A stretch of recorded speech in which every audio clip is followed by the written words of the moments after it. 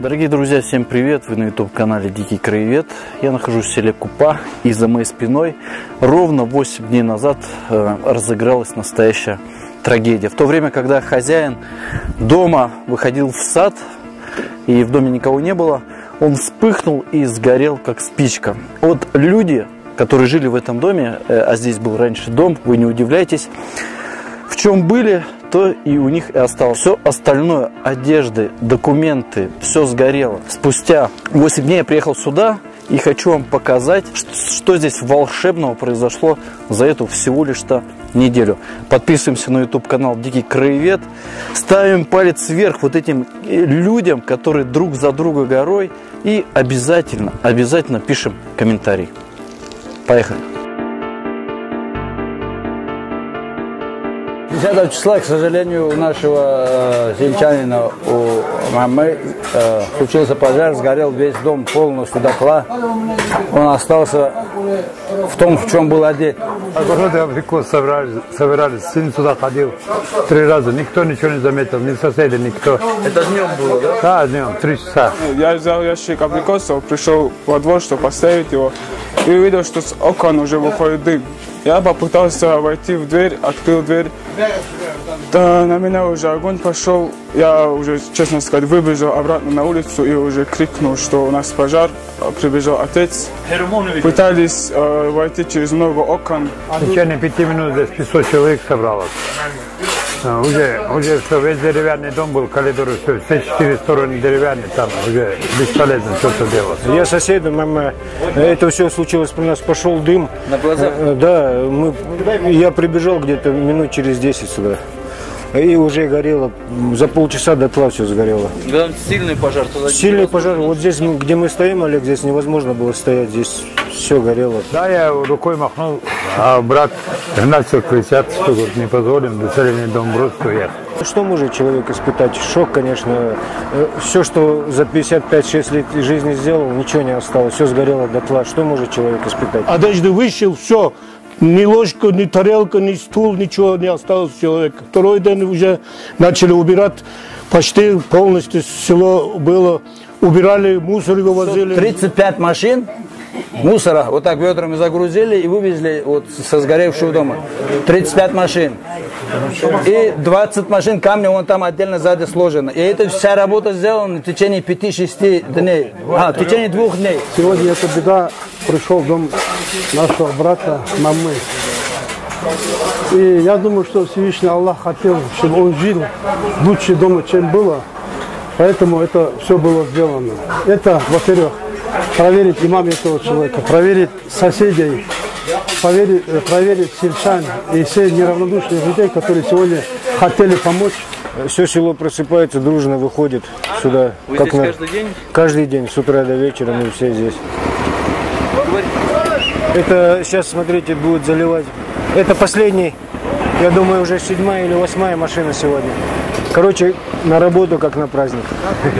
Вот хочу обратиться к молодежи. Молодежь, маша, у нас тоже хорошо собирается здесь. Не было не только старики, не только взрослые, которые могут что-то сделать, приходят. А, вот такая беда очень сильно сплотила наших сельчан, как всегда, в принципе. Это не первый пожар в нашем селе. Были и раньше пожары, и люди э, э, полностью, пока дом не завершат, не отходят. Все помогают. Кто чем может, кто деньгами, кто бетоном, кто физически. Ну, кто на что способен, теми помогает. Здесь не важно, кто сколько внес. Здесь важно, что человек, который попал в беду, чувствует, э, э, что он вот, э, находится в коллективе, что он находится в замяте нашего села, и он никогда не будет брошен в беде. Вот когда это случилось, я подошел к нему, я говорю, мама, мы говорю, здесь э, всем джамиатам решили, провели собрание, что этот дом закончит, помо- помочь тебе. Ты как на это смотришь? И он вначале был отчаян такой, говорит, я честно скажу, э, не хочу, я хочу уехать отсюда, вот оставить вот его слова первые. Я говорю, э, сегодня джамиат такое решение сделала, помочь. Если ты согласен с тем, что мы, то, что мы сделали, я говорю, мы приступаем работать. Он говорит, я против джамата не пойду, против народа. Давайте, если решили, я с вами рядом, и все. Вы вот так мы начали. Такое случилось с моим соседом. Машаллах, наш, наши люди, соседи, все соседних селений приезжают бригадами.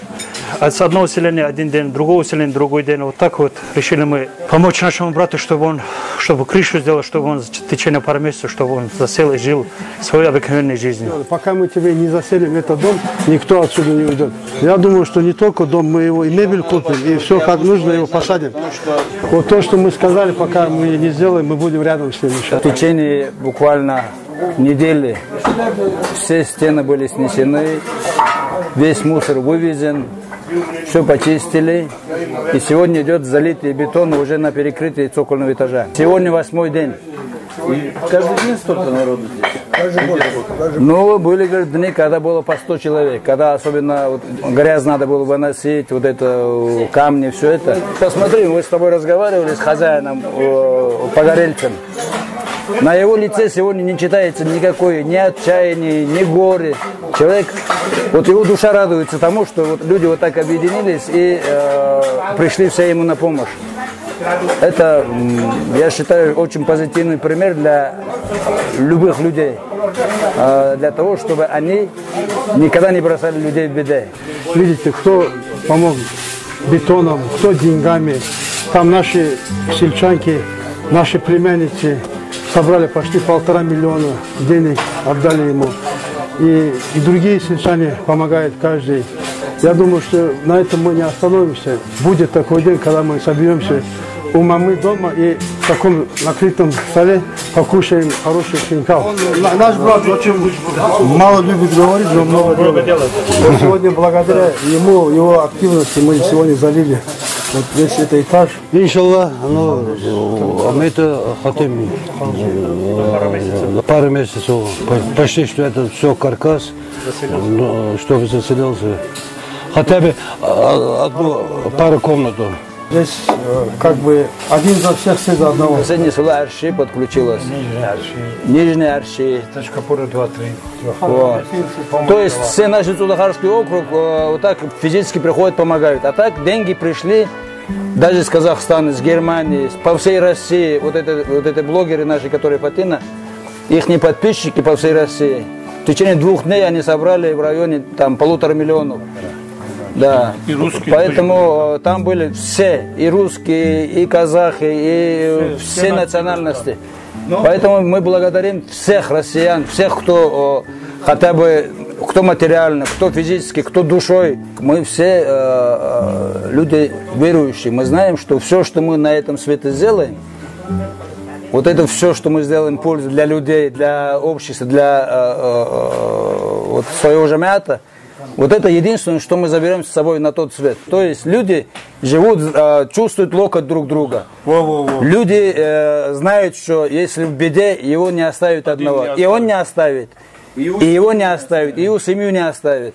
Не дай бог с кем-то что-то трагедия случается, за семьей всегда есть кому присмотреть, э, близкие, и родня, и сельчане, и весь жамят. Поэтому жить в коллективе и жить, чувствуя локоть друг друга, намного правильнее и позитивнее, чем э, вот каждый говорит, я сам за себя, мне никто не нужен. Это традиции наших предков, которые мы стараемся дальше нести и передать дальше, дальше нашим следующим поколениям. Поэтому это очень важно. Вот сам пример сам по себе, это пример для наших будущих поколений.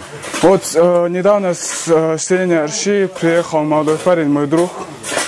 Он подошел ко мне и говорит, иншаллах, говорит, завтра соберемся, говорит, толпой все. Нормально, говорит, людей, говорит, собираем. Каждый день, говорит, чтобы стабильно, говорит, у вас здесь как раз строительство начнут, вот чтобы приходили, собирались, делали, поможем, чем можем. Я просто хочу сказать, что я здесь оказался случайно, да? И, возможно, если бы не эта случайность, вы бы никогда бы и не узнали о таком большом деле, о таких э, великодушных людях. Знаете, что все это делается, как они говорят, э, ради просто, ради Всевышнего. Всем огромное спасибо, кто нам помог в этом несчастье, в этом пожаре. Дай Аллах всем здоровья. Аллах лябил талара. Охой талар бунайдирцев. Вот э, те люди, которые отправляли по карту день- денег, а им на каждого не дозвонишься. Хотя бы они увидят по твоему каналу благодарность, которую мы все вот родственники, сельчане объявили им. Поэтому я говорю всем, чтобы подписывались на канал Дикий краевед. Олег, спасибо. На новоселье тебя пригласим, Олег. Еще не сгорело.